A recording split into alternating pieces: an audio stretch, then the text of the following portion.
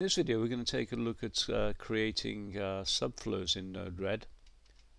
Now a subflow is a collection of connecting nodes that you can use as a single unit just like you use a node and it's a way of packaging functionality from several nodes into a single node.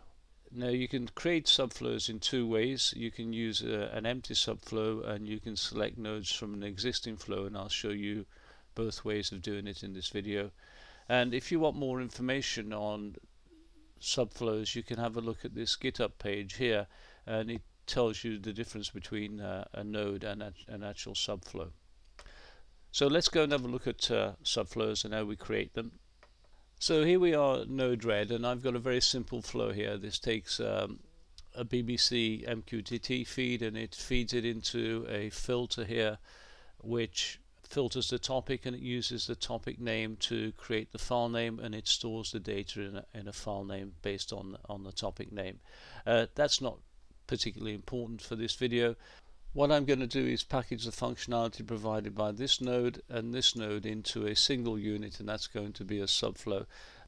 Now I've already created a subflow. You can see they appear over here under subflows and you just can just drag those and drag them onto the flow just like you do a normal node and you can use it just like you do a, a normal node.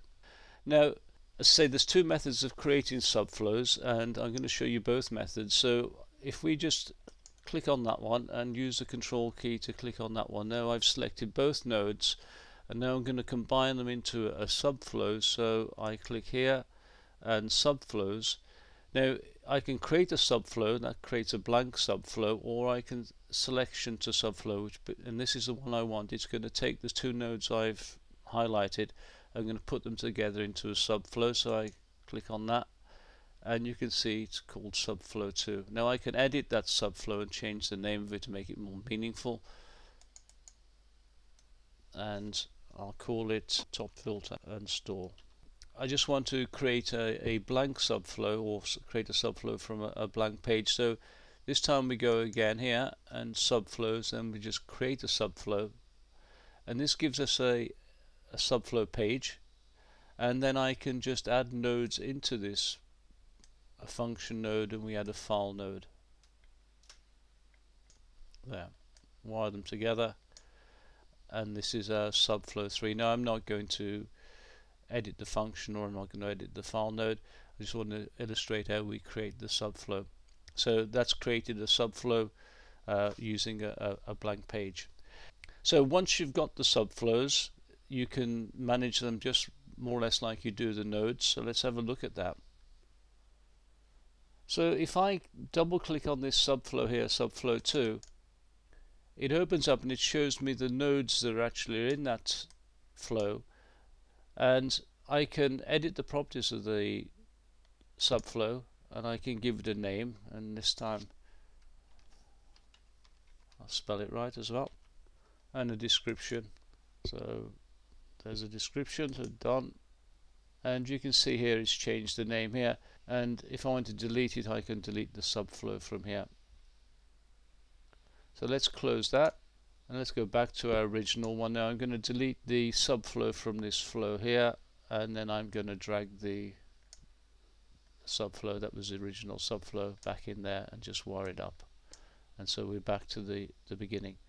So you can see we can just use subflows just like we use normal nodes. They're very very similar to normal nodes except the subflow contains a collection of wired nodes. You can also edit the the subflow change the the subflow by double clicking on it where it appears in, in a flow and click edit the flow template. And any changes you make here will affect this uh, subflow wherever it appears in the actual flow itself. So if you add this on in multiple flows making an edit here would actually change this subflow in all of those other flows. So you have to be very careful when doing this is that if you make a change here it affects any flow that's actually using the, this subflow, not just the one you're you're currently working on. Okay, that's it. Uh, a quick introduction to subflows on Node-RED and, and how to create them and how to how to use them. If you've got any comments on the video, then please leave them below. If you like the video, then use the like button below and if you want to get notified of new videos on the channel then you can always subscribe and if you do use social media and like to share this video then feel free. Until next time goodbye